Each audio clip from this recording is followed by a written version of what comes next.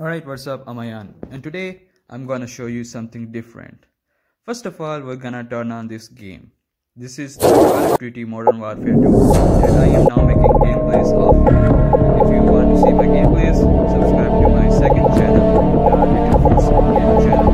The link is always given in the description, so you can check out friends.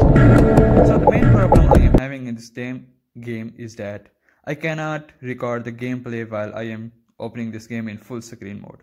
So we're gonna fix that. First of all, go to the open file location, search for config and here I'm gonna show you how you can window mode this game without the in-game settings.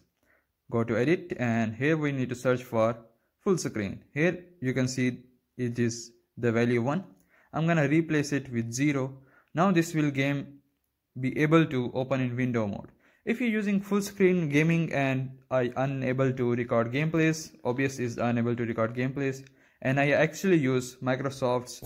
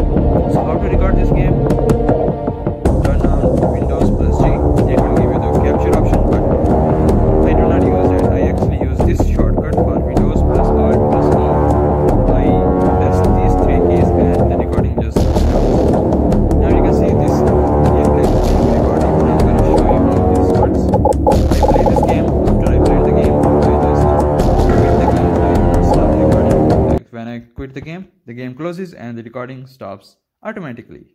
This is how it's done. If you want to stop the recording, you can use that shortcut Windows plus R plus R to stop the recording as well. But I actually recommend turning off the game. It the recording automatically stops and the game is saved. And your gameplay is saved. Now where is that gameplay saved?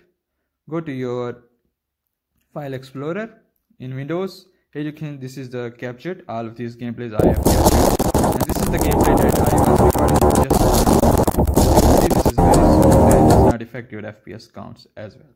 So this is how I record gameplays how you can record your gameplays by just using the windowed mode like I did. Anyway, that's been it. Thanks for watching and I will catch you guys in the next one. Also subscribe to my gaming YouTube channel, Little Force. Bye bye.